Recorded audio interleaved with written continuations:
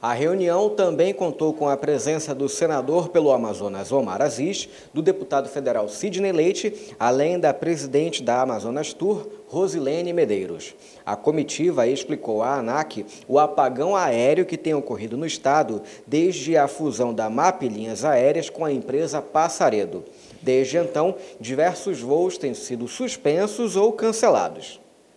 Em outubro, a MAP emitiu comunicado informando a suspensão das operações nos municípios de Coari, Eirunepé e Tefé, além de Porto Trombetas, no estado do Pará. O motivo seria a falta de estrutura adequada nos aeroportos. Os parlamentares orientam aos consumidores que tiveram os voos cancelados e se sentem lesados a acionar a Justiça com base no Código de Defesa do Consumidor.